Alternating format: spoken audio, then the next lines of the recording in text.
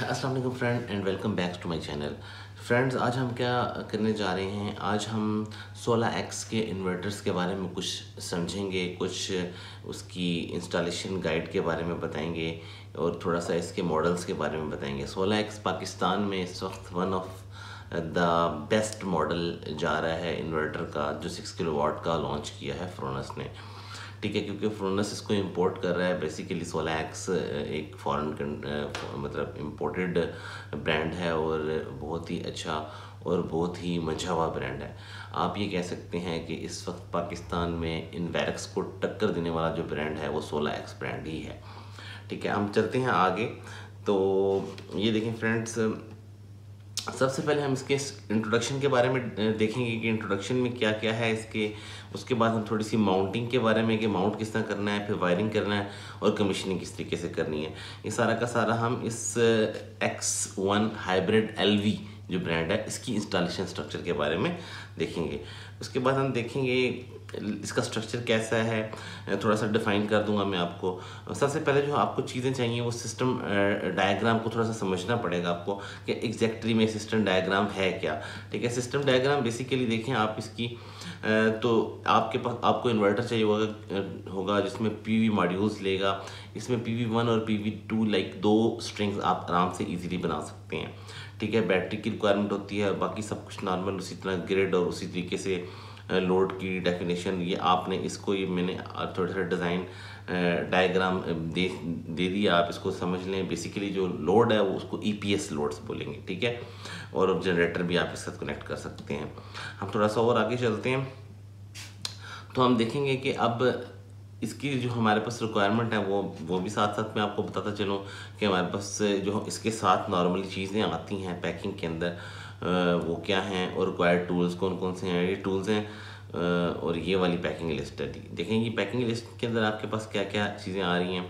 आपके पास packing list में आपके पास नॉर्मल जो आपका इन्वर्टर है, वो होगा, इसकी बैकेट्स होंगी और इसके अंदर आपके पास ये स्क्रूज़ होंगे जो कि जिसे बोल्ट्स कहते हैं नट नट भी होंगे और बोल्ट भी कहेंगे। दो दो पेयर होंगे लाइक आपके पास चार कनेक्टर होंगे, दो पेयर कनेक्टर होंगे जिसे एम सी फोर बोलते हैं कनेक्टिविटी के लिए यूज़ होते हैं। पॉजिटिव और नेगेटिव के लिए जो पिन कनेक्टर्स के अंदर लगती हैं, वो भी होंगी। और बैटरी को कनेक्शन करने के लिए जो हमारे पास थिम्बल्स जिसे बोलते हैं बैटरी के, वो भी मौजूद होंगे। आप इसको टर्मिनल भी कह सकते हैं। टर्मिनल को कनेक्ट करके दो दो होंगे वो, ठीक है? और हमारे पास दो ही लैन पोर्ट्स होंगी जो कि कनेक्टिविटी के लिए यूज़ हो सकती हैं। उसके बाद आप इसकी और आगे, अगर आगे चाहें तो हमारे पास हमें जो मेन रिक्वायरमेंट्स होंगी वो, उसके अंदर वो वो जो चीज़ें शामिल हैं वो भी मेंशन होगी। मज़े की बात यह है कि इसके अंदर आपके पास इन पैकिंग लिस्ट में इन चीज़ों के अलावा आपके पास और जो चीज़ें हैं, वो बैटरी का टेम्परेचर को कनेक्ट देखने के लिए, इसे बी एम एस की कनेक्टिविटी को देखने के लिए एक सेंसर आता है, ठीक है? एक ही सेंसर होता है, वो भी साथ आता है, एक सीटी आती है, जो कि नॉर्मली लोड को ई पी एस के लोड को देख रही होती है डिटेक्ट कर रही होती है। उसके अंदर एक वाईफाई की डोंगल भी आती है, चार स्क्रूज होते हैं, और आपके पास टर्मिनल्स और भी हैं, और जो आपको बाकी अब इसके अंदर एक ऑप्शनल होता है, अगर आप उसकी उसकी वो प्राइस पे करेंगे तो मीटर मौजूद होता है जो कि जिसे कहते हैं कि मेजरमेंट्स करता है आपके फ्लो ऑफ़ कंट्रोल की, वो भी आपकी ऑन पेमेंट होता है, ठीक है? और आर जे फोर्टी फाइव पे कुछ टर्मिनल्स होते हैं चार। ये बेसिकली ये इसकी ऑफिशियल लिस्ट है, जो कि ओरिजिनली जो पैकिंग होती है। पाकिस्तान में इस तरह की चीज़ें नहीं आती। पाकिस्तान में सीटी आती है, पाकिस्तान में बैटरी टेम्परेचर के लिए आती है डोंगल्स आ जाती हैं और बाकी चीज़ों को निकाल लिया जाता है। ठीक है, हम फर्दर आगे देखते हैं कि इसके साथ आगे क्या क्या हम कर सकते हैं और क्या क्या चीज़ें हो सकती हैं। बहुत ही खूबसूरत पाउंडिंग का माउंटिंग का तरीका है। इसका माउंट बहुत अच्छे तरीके से हम इसको कर सकते हैं। इसको देखें तो हम, इसके अंदर कम्युनिकेशन पोर्ट्स बैटरी इनपुट ये बिल्कुल ईजी आप देख लें। सब कुछ ईजीली डिफाइन हुआ है। आप इसको गौर से समझ लें। अगर किसी को कुछ समझ नहीं आती तो वो मुझसे पूछ सकता है। ठीक है? अहम बात यह है कि हम इसको जो basically I P sixty four I P sixty five inverter है, जो कि आप इसको टेम्परेचर इसके अंदर हीट सिंक होते हैं टेम्परेचर अब्जॉर्बमेंट होती है और शावर प्रूफ भी होता है। लेकिन इसका ये मतलब नहीं है कि इसको आप बिल्कुल ही बाथरूम में बारिश के सामने लगा दें, लेकिन इसको फिर भी हमें माउंटिंग करने के लिए शेड रिक्वायर्ड होता है और ये माइनस ट्वेंटी फाइव डिग्री से लेके प्लस सिक्सटी डिग्री तक का काम करता है मतलब उसमें वर्किंग अच्छी करता है। आप ये देखें कि हमारे पास नॉर्मली जहाँ पर भी ये टेम्परे इंस्टॉल होते हैं, वहाँ पे जो टेम्परेचर की जो डिग्री है, वो 60 डिग्री से इंक्रीज़ हो जाती है, ठीक है? क्योंकि कुछ लोगों ने माउंटीज़ में इसको इंस्टॉल किया हुआ था, इस चीज़ का बहुत ज़्यादा ख्याल रखना है आप लोगों ने, ठीक है? आगे हम इसको चलते हैं कि इसके अंदर आगे और क्या क्या हमारे पास चीज़ें मौजूद हैं। अब थोड़ा सा ये देखें कि अगर आप दो किस्म के इन्वर्टर या दो चीज़ें तो आपने इसके अंदर जो गैप रखना है वो रिकमेंडेड गैप है, इसको आप लाजमी रखिएगा इसी तरीके से, ठीक है? माउंटिंग करते हुए इन चीज़ों का बहुत ख्याल रखना है। अब हम माउंटिंग की तरफ़ आते हैं, हम ड्रिल करेंगे दीवार के अंदर, उसी तरीके से तीन होल करेंगे, ये बहुत ईजी टास्क है, जो कि आपको नॉर्मली हर कोई इसको मतलब इसके लिए कोई ज़्यादा एजुकेशन की ज़रूरत नहीं है, हर कोई इसको समझ सकता है। ठीक है, हम आगे चलते हैं। कुछ रिक्वायर्ड टूल्स हैं जिसमें हमारे पास ये कटर्स मौजूद हैं, आप इसको देख सकते हैं। ठीक है, आप दो जो मेन मेन चीज़ें हैं वायरिंग करते हुए, वो उसका जो ख्याल रखना है, वो बहुत अहम है। वो ये है कि आपने दो पीवी की स्लॉट्स बनानी है, ठीक है? इसके अंदर मेरे ख्याल से जो सिक्स किलो वाट का है, वो उसके अंदर आप मैक्सिमम सात प्लेटों की एक स्ट्रिंग बना सकते हैं। जो स्ट्रिंग दोनों, दो बनाएँगे, वो इसके इनके दो पीवी हैं तो दो, एक पीवी से भी काम हो जाता है तो मैक्सिमम आप इसको दो सेवन प्लेट सेवन प्लेट्स की मैक्सिमम आप बनाएँ पीवी क्योंकि इसकी जो टोटल है, वो फोर्टीन प्लेट्स तक कैपेसिटी इसकी है। ये फाइव एटी फाइव प्लेट्स की बात कर फाइव एटी फाइव वॉल्ट की प्लेट की बात कर ठीक है, आप इसमें पीवी कनेक्शन करने के लिए आपकी वायर की जो जो आप ऊपर से वायर को छीलते हैं कनेक्टर बनाने के लिए, वो सेवन एम mm तक का होना चाहिए। ठीक है, तब आप एक परफेक्टली कनेक्टर के थ्रू उसको पंच भी कर सकेंगे और उसको बना सकेंगे एम सी फोर का कनेक्टर आगे चलेंगे एम सी फोर के कनेक्टर बड़े इजीली आप बना सकते हैं, देख रहे हैं सारा सारा प्रोसीजर है इसके अंदर।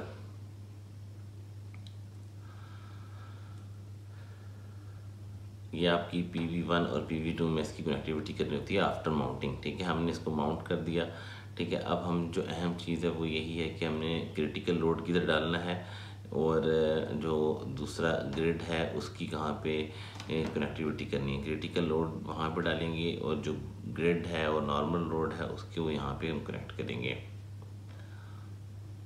ये दस एम एम की कनेक्ट इसकी जो है सिंबल बनाने के लिए हम इसको टर्मिनल बनाने के लिए, जो बैटरी का टर्मिनल है उसको हम टेन एम तक के लिए तार को छीनेंगे। ध्यान में देखिए कि कैब जो केबल्स हैं हमारे पास, वो बहुत इंपॉर्टेंट हैं।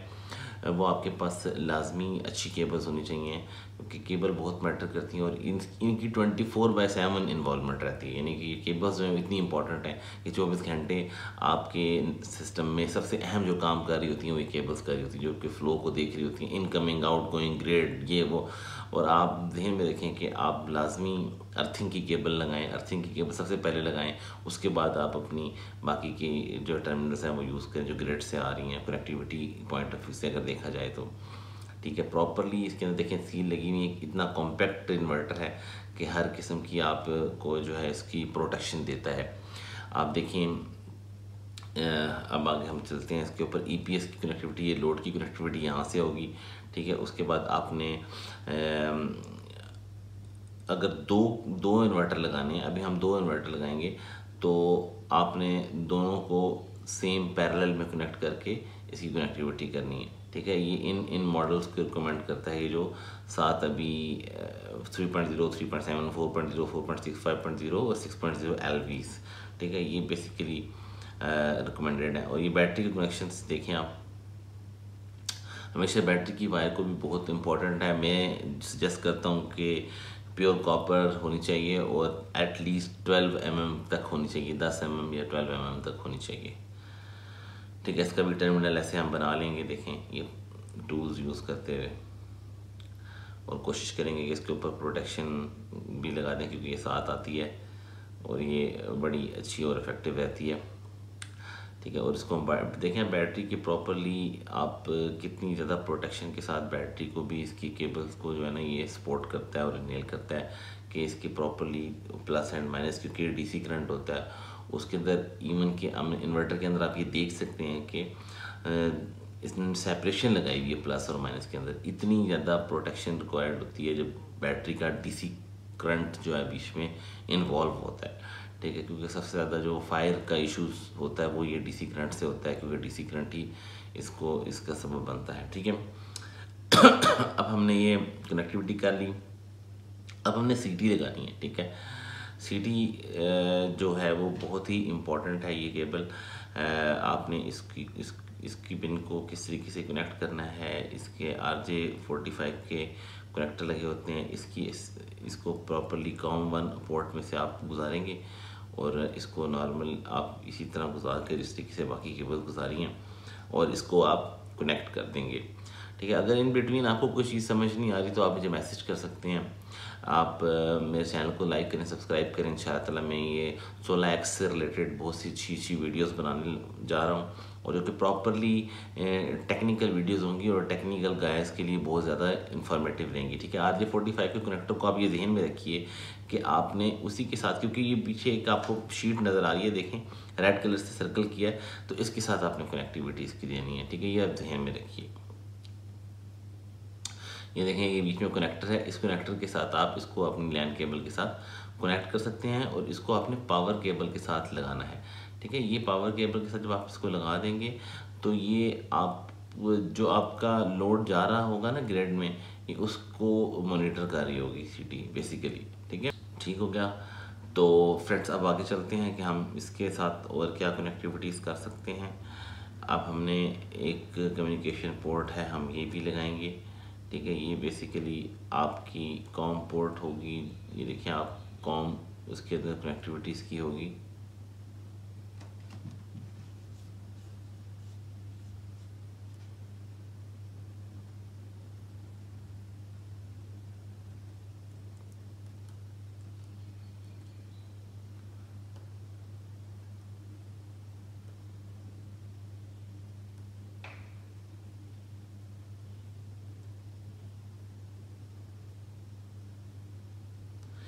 ये आपकी अर्थिंग की वायर है, इसको लाजमी आप ओ के साथ कनेक्ट करने के बाद इसकी अर्थिंग करें और बाहर इसका एक नट है, उसके साथ इसको लगाएँ।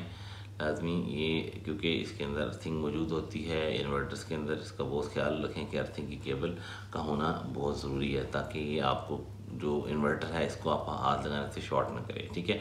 ये आपकी डोंगल के लिए यूएसबी पोर्ट है, ठीक है? इसको अपग्रेडेशन के लिए यूज़ किया जाता है, ठीक है? ये आप इस डोंगल को लगाएँगे और आप इसकी फिर कमीशनिंग थोड़ी बहुत करेंगे, इसको सिस्टम को आप पावर ऑन करें। पावर ऑन करने के बाद आप देखेंगे कि सारी चीज़ें कनेक्टेड हैं, इसको ऑन कर दें। ये यहाँ से पीवी ऑन हो जाएगी और यहाँ से एक हार्ड आप ये बैटरीज के साथ कनेक्टेड हैं ऑलरेडी देखें।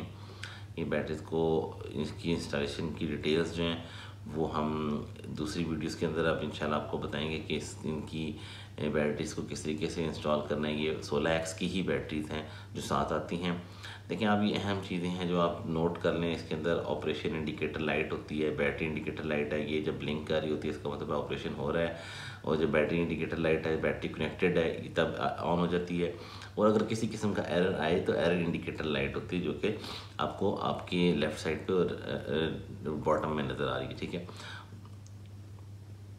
उसके बाद आप ये देखें कि इसके बाद अप एरो और डाउन एरो की, की होती है और स्केप जिसे वापस बैक भी कह सकते हैं और इंटर उसके अंदर दाखिल होने के लिए ठीक है? टच स्क्रीन है आप इंटर करें और नॉर्मली इसको सेटिंग करें इसका पासवर्ड नॉर्मली मैं आपको बता देता हूँ ज़ीरो ज़ीरो ज़ीरो होता है फोर टाइम ज़ीरो होता है आप इसमें इसको पासवर्ड डालेंगे तो उसके बाद आप इसकी सेटिंग कर देंगे। ये बेसिकली लैंग्वेज की सेटिंग्स और इस तरह की सेटिंग्स हैं। ये हम आपको साथ साथ बताते रहेंगे। सीटी की सेटिंग बहुत इंपॉर्टेंट है, ठीक है? अगर हमारे पास दो लगे हुए हैं तो हम इसको एक को मास्टर और एक को स्लेव बना लेंगे देखिए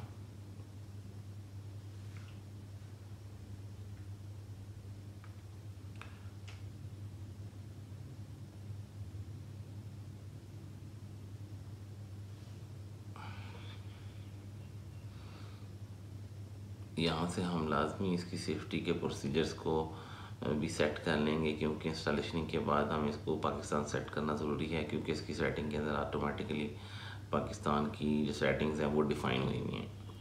ठीक हो गया फ्रेंड्स तो फ्रेंड्स ये था हमारा 16 एक्स की इंस्टॉलेशन का प्रोसेस ठीक है? आप इसकी ऐप्स को ऐप स्टोर से गूगल स्टोर से, यानी कि आप इसको आईओएस और एंड्रॉयड दोनों पर यूज़ कर सकते हैं।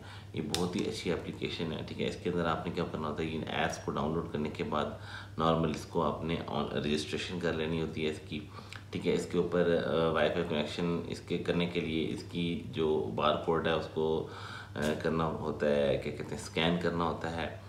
और जो कि वाईफाई डोंगल का प्रॉपर तरीका है, वो मैं आपको दूसरी वीडियो में शेयर करूँगा इन ताला, कि हमने किस तरीके से वाईफाई डोंगल को कनेक्टिविटी देनी है।